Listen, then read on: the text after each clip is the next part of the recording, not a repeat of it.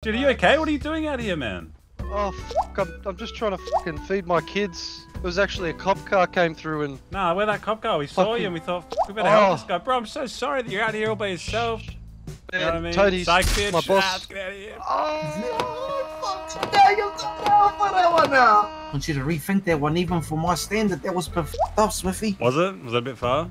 Go back, go back, go back, go back, Go back. go back, Oh, but now you're gonna make me deal with this again? go back. Oh my god.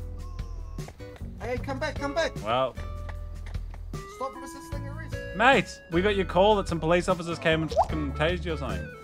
This shit. Don't die! Don't do it! Oh, shit. Jesus.